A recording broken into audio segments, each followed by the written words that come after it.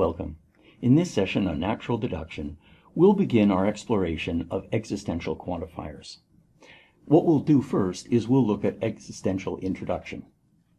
From propositional logic, let's recall how we introduced disjunction.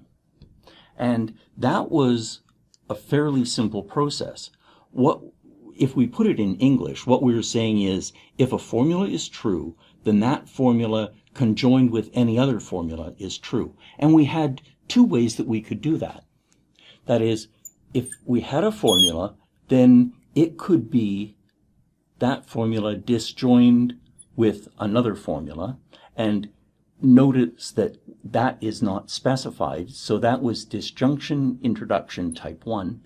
And if a formula was on a line of its own, then we could conclude that any formula disjoined with it was also true, and that was our disjunction introduction type 2. Now, when we get to an existential one, what we're saying is if a statement about one object in our universe of discourse is true, then there exists an object such that that's true. So what we'll have is our usual side condition. And this will be a side condition on a formula phi, which is that a term t is free for x in phi. And the way that this is written is if we have a formula and t has been substituted for x in a way that doesn't cause t to be bound. So let's just think of it is if if this term is, for example, a fresh variable, if that fresh variable is substituted into the formula and it doesn't become bound, then that formula, if that formula is on a line of its own, we can conclude that something in the universe satisfies that formula. And that's our existential introduction. So this, the strategy can be either forward or backward. So let's say that the strategy is either.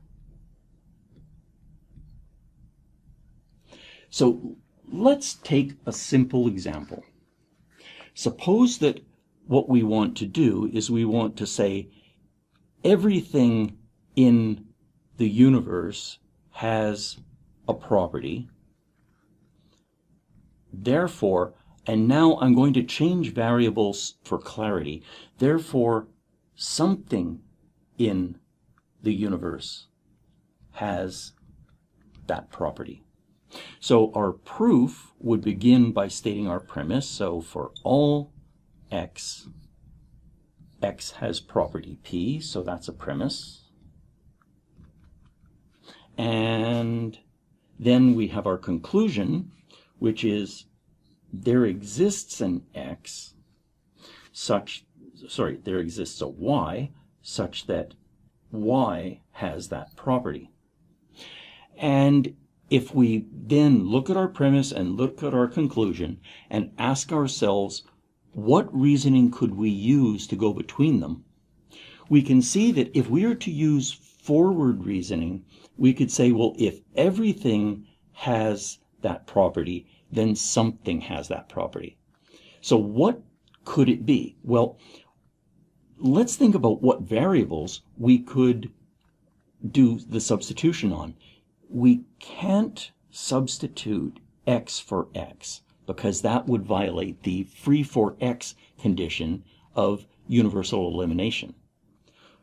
We couldn't have y because y is mentioned in our goal. So let's suppose that we pick some other variable. So let's simply say that we'll assert that P of something is true.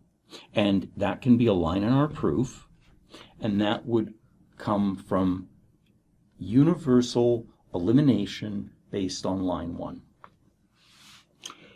now, if we look at our conclusion, we can see that the formula in the within the goal line has had a term substituted for its quantified variable, and that term is free for that variable. Let's go through this slowly. This is there exists a y such that the formula contains y. So the what we're what we want to do is we want to verify that this formula is on a line. That's one part of it. And that it appears so that the variable that's mentioned in that formula is free for y. Is that true here? Yes. So we could then say that this proof is complete by saying that that is existential introduction based on line 2. Now, when I said that this strategy could be either, what I mean is we could have reasoned if we have there exists a y such that y has property p, I could say, well, I'll just introduce a brand new variable and I'll call it z. Could be w, could be almost anything, as long as it is an x or y. And if that is if that variable is free in the goal formula and it's free in the lines that are above, that makes it a really good choice because I could reason that that if I could get th- get to this point, I could get to this point, and I can get to this point from this point. We can see from this example that when we're introducing variables in predicate logic in natural deduction, we have to be very careful about how we select our variables.